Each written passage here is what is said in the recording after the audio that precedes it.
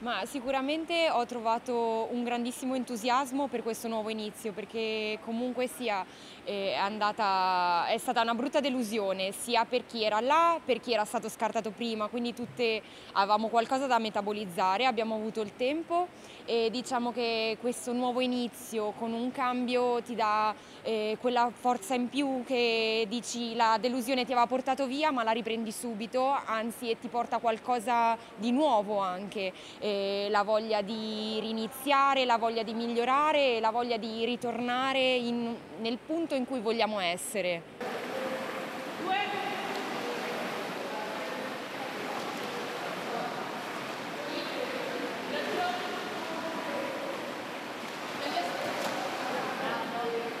Le carte in regola ci sono, eh, abbiamo una grande varietà d'età, nel senso che siamo, ci sono quelle più grandi come me, ci sono le giovani che sono diciottenni, hanno appena fatto 18 anni, quindi abbiamo tutto quel margine per dire là ci possiamo arrivare. In più la rinuncia alla World League penso che sia stata un'ottima scelta per poter costruire quello che è la base per andare a vincere.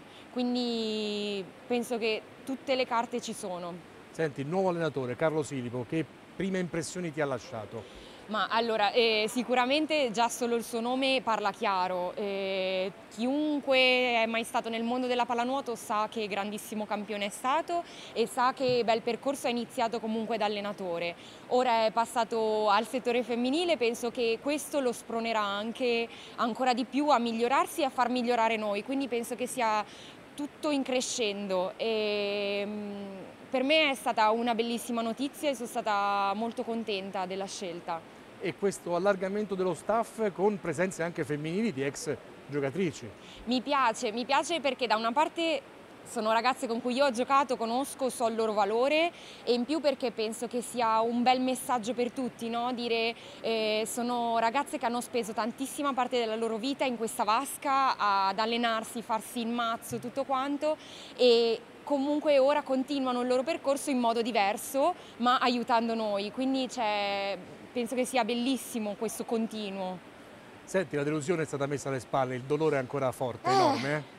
Allora, io dico che mh, mm, non è una cosa che dici è passata, cioè comunque la tieni dentro, eh, ho avuto tanto modo per metabolizzarla, non penso che sia stato un, un periodo facile, però ora mi sento bene, no? Un po' perché è passato il tempo, un po' perché c'è questo stimolo nuovo, comunque alla fine è la mia grande passione come quella di tutte noi, eh, diamo tutto per questo sport e avere un'altra occasione nuova per dire riniziamo da capo e dimostriamo che in realtà non siamo quelle mi, mi fa star bene, ecco. mi ha dato una spinta nuova. Il 25 luglio si aprirà il torneo femminile a Tokyo.